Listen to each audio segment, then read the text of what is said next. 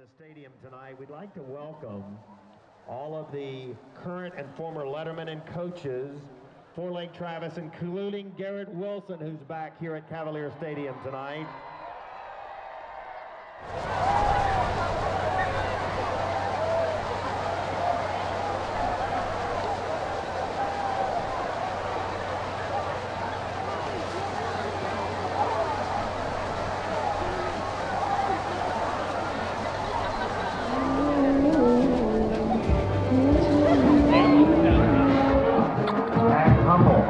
For Cavaliers.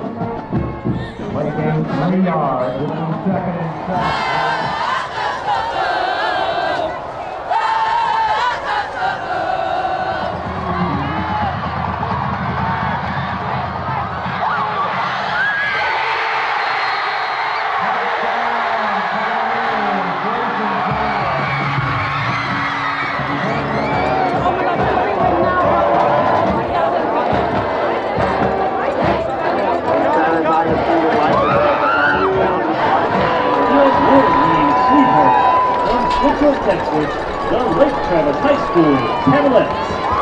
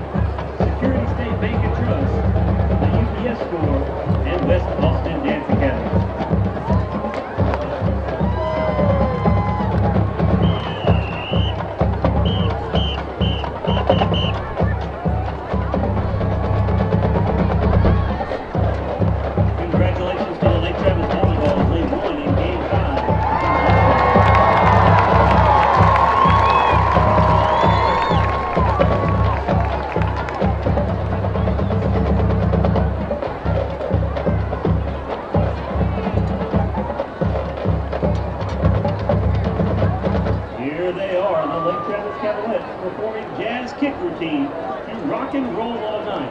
Choreographed by Emmy Close, Katie Little, and Morgan Webb. Played by the nationally ranked Lake Travis Cavalier Band.